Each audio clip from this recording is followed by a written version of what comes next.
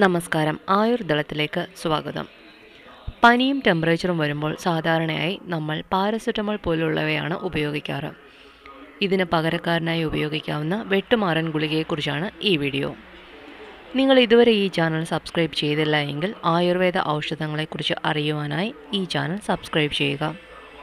പൊരികാരം കുരുമുളക് വത്സനാഭി ചായില്യം അയമോദകം സമം ഇഞ്ചിനീരിൽ ഒരു യാമം ഇടവിടാതെ അരച്ച് ചെറുപയർ അളവിൽ ഗുളികയായി നിഴലിൽ ഉണക്കി സൂക്ഷിക്കുന്നതാണ് വെട്ടുമാറൻ ഗുളിക. പനി ഛർദി വയറുവേദന തുടങ്ങിയ അവസ്ഥകളിൽ വെട്ടുമാറൻ ഗുളിക ഉപയോഗിക്കാം.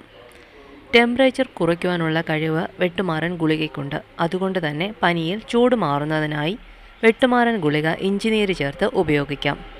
ഗ്യാസിന്റെ ഉപദ്രവങ്ങൾക്ക് ജീരക കഷായത്തിലും ഛർദിക്ക് കച്ചോലത്തിന്റെ നീരിലും ഉപയോഗിക്കാം. മൂത്രത്തിലെ പഴുപ്പിനും മൂത്രച്ചൂടിനും തേങ്ങാ വെള്ളം ചേർത്ത് കൊടുക്കാം. വയറുവേദനയ്ക്ക് അയമോദക കഷായത്തിലും കൊടുക്കാം. ഇതിലെ ചേരുവകളുടെ പ്രത്യേകതകൾ കൊണ്ട് തന്നെ ഒരു ഡോക്ടറുടെ നിർദ്ദേശപ്രകാരം മാത്രമേ വെട്ടുമാറൻ ഗുളിക കഴിക്കാൻ പാടുള്ളൂ.